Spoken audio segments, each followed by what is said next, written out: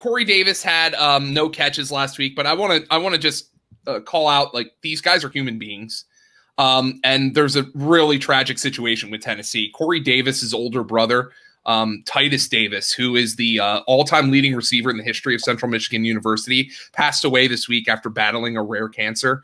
Um, so uh, he passed away. Uh, it was either Tuesday or Wednesday. It's awful news. Um, obviously, thoughts out to Corey Davis, and I think everybody on planet Earth would understand if Corey Davis does not play in this game on Thursday. So, just thoughts out to him. That is a tragic situation to lose to lose a brother and and and I mean unfortunately we have to translate that into football talk and if he doesn't go you're looking at a restricted offense against a, a, a, defense that's better than the defense that Tennessee faced last week. Tennessee gained just 228 yards from scrimmage and averaged 4.1 yards per play against Chicago last week.